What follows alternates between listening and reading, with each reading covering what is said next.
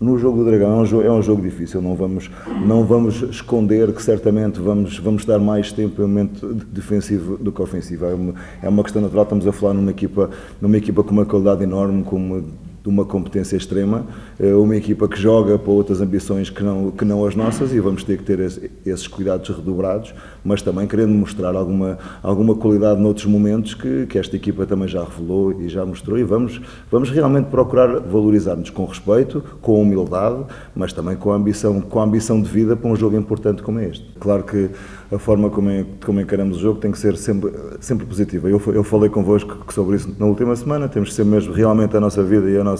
e o nosso trabalho tem que ser encarado dessa forma e o jogo é o produto daquilo que é o nosso trabalho semanal, daquilo que fazemos em cada um, em cada um dos treinos e queremos ter o, reflexo em competição. Aconteceu isso na última semana, fomos uma equipa extremamente ambiciosa, organizada, eh, em alguns momentos, em alguns momentos com, com, com, alguns pormenores ligados ao nosso trabalho e que, e que realmente levou um, a um resultado bom e que nos permite agora neste momento olhar para este jogo que vai ser muito complicado, é um jogo, é um jogo difícil, num campo onde, onde o Casa Pia nunca conseguiu pontuar, portanto é um, é um jogo que realmente temos que encará-lo como uma oportunidade, uma oportunidade onde podemos fazer mais, onde podemos fazer melhor. E onde eu espero e ambiciono que todos nós nos queremos valorizar naquilo que é o nosso trabalho, naquilo que é o que, é o que nós fazemos no nosso dia a dia, como eu já falei. Portanto, espero esta oportunidade e espero que estes jogadores vão atrás dessa da melhor coisa possível para este jogo e que procurem realmente o melhor resultado neste, neste próximo jogo.